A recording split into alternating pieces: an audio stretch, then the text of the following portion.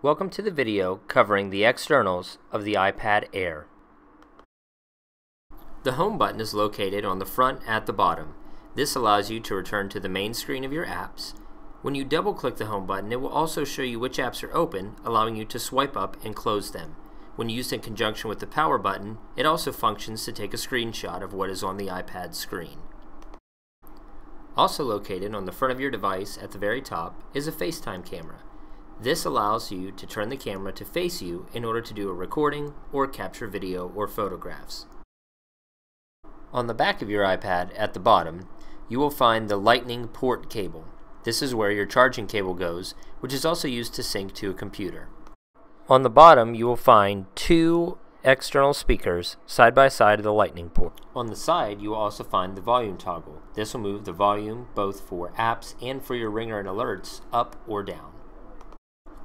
Above the volume toggle will be the mute slash lock rotation switch.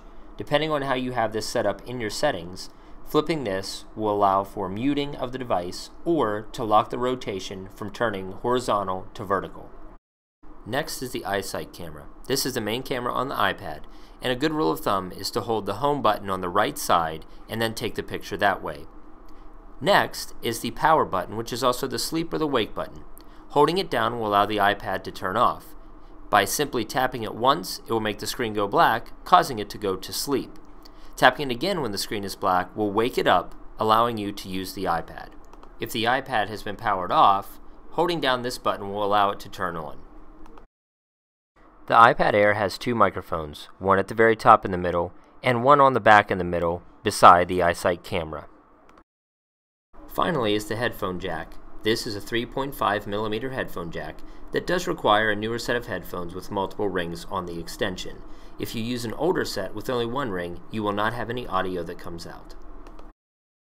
Thank you for watching this video. Please explore other videos which will include setting up your iPad, personalizing your iPad, and how to use some of the most dynamic apps out there. Also, check out our Google videos to explore Google Classroom, Google Drive, and all the other great things that are offered there.